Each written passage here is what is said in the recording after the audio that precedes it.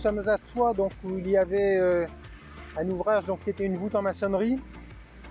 Il y avait à peu près 150 ans d'âge. Ici, quand euh, on a euh, investigué l'ouvrage en vue de faire ce chantier, on s'est aperçu en fait que quand on était dessous, les briques, on pouvait les prendre à la main. Quand on avait enlevé les briques, on s'apercevait que derrière, au lieu d'avoir le remblai directement qui lui appuie sur la structure et permet de bien maintenir, de bien euh, euh, contenir l'ouvrage, en fait, on avait du vide. Et donc là, on avait un ouvrage qui était complètement euh, décomprimé et qui, ben, à, terme, aurait, pu s'effondrer même assez rapidement.